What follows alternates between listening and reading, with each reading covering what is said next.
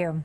For months, we've been sharing with you the terrible news that Aurora is in the middle of a crime wave involving its teenagers.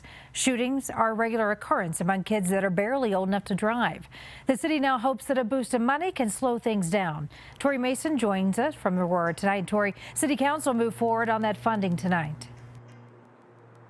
Yes, Karen, and the city's violence prevention team has spent about a year coming up with a plan to address the problem, and some council members still objected. A few say that we need to have a better understanding about what's driving youth violence.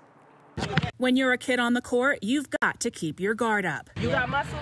But instead of shooting balls, Aurora teens are dodging bullets. If you see what's going on now in the city, Youth are getting shot every single day. The city is giving half a million dollars to programs combating youth violence.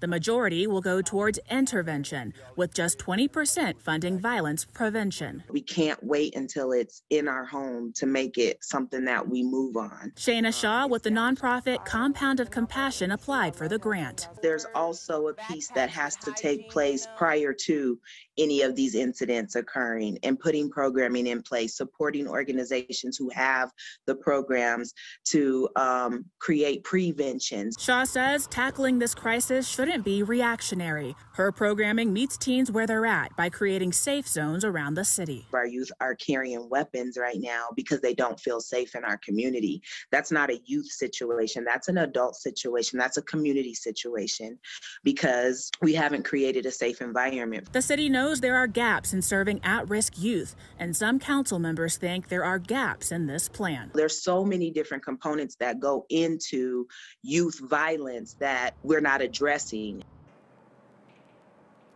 and addressing those risk factors is key. Shaw also says that recognizing some of the barriers keeping teens away from the resources offered to them is also incredibly important. We're live in Aurora. Tori Mason covering Colorado First.